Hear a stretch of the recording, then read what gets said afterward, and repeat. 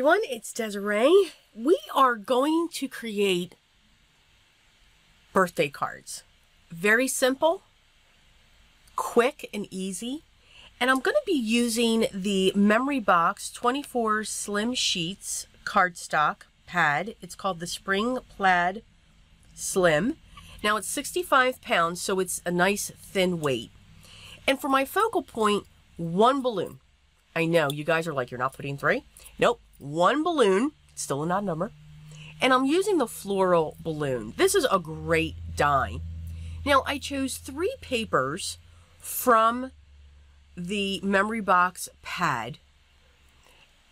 And I'm using also the memory box solid cardstock. This is that great thick cardstock. And when I looked at the pattern paper, I looked at those colors and I went darker with those colors.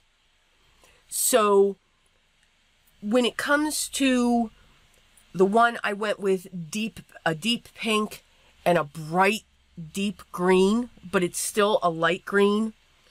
For the other one where there's a lot of white, I, I pulled out the yellow and I pulled out the purple in there.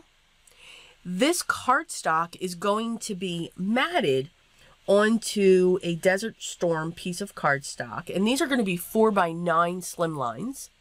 So we've got this great quarter of an inch border around each of these pattern papers. And what's great with these pattern papers, there's foiling on them. So you have this gold foil that's going across them um, into the plaid. Now for the center one, it was it didn't have any white in the pattern paper. It was a solid, you know, blue into like a pinky purple. So I went with a white balloon. I'm also using the Make a Wish, Make a Wish, Make a Wish and Let's Party um, Sugar Script Sentiments by Birch Press Designs as well.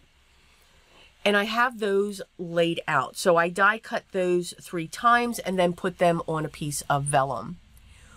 I wanted these to have an actual string. So I'm taking a piece, tacking it to the back, wrapping it around the bottom, and then threading it through the loop so that the string will hold.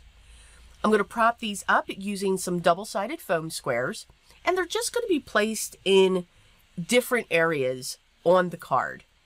One's kind of in the center, another one's kind of up a little bit, and the other one is up high. Again, based on the sentiment. When it comes to the twine that I'm using, it's coming off of a large roll. So it keeps the coil when it comes off of that spool. And I didn't want to lose that. So I just let the twine fall the way that it wanted to fall. And then I just tacked the sentiment around it. In any areas where that twine was loose, I just put a little bit of glue underneath it to tack it in place, just to hold that. But I really like the way that that twine is just looping underneath that sentiment and then down the card. So it keeps the movement of the image that you're putting on there. So by choosing those colors when looking at the pattern papers and just going a little bit darker, it helps to even pull those colors out in the background just a little bit more. So that's one way that you can look at your pattern papers. Again, I'm using a layering die, but again, focusing on those darker colors so that the focal image will pop up off of that pattern paper. That makes sense. Since the white one was down a little bit, I wanted to make sure that that had even more loop-de-loops, and you'll see that I'll have those. But you can see I'm just wrapping it around and then threading it through that loop and tying it tight so that it will stay in place. We don't have to glue it or anything else. You can wrap it around a couple times. It's great space, so you can add a lot of twine at the base of that balloon and just have some fun.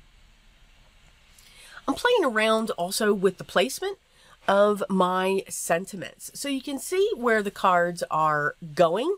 These are great, quick and easy uh, birthday cards that can be completed in no time. For this one, I used some gold gems in the center of the flowers of the balloon. For the white balloon, I used a iridescent drop by Trinity. Add some great shine to that.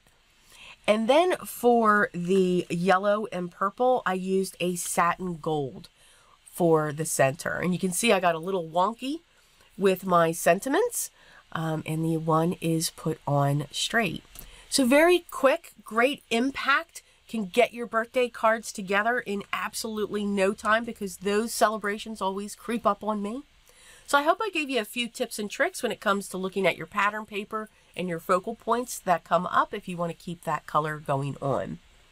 And again, today I featured products by Birch Press Design, and as always, those products will be listed down below in the video description if you wanted to uh, check them out. If you have any questions, make sure you leave those down below and I'll get back to you as soon as I can. Hit that subscribe button. I'd love to have you here, giving you some more ideas, some more tips and tricks. Hit that thumbs up, and then that'll let YouTube know that if you liked it, maybe somebody else will as well. So they'll push that out. Thank you so much for stopping by and taking just a little bit of your time today to watch the video. Enjoy creating your art. Enjoy creating what you see with the items that you have. But always remember, as you're doing that, always be creative. And I'll talk to you in the next one. Take care, guys.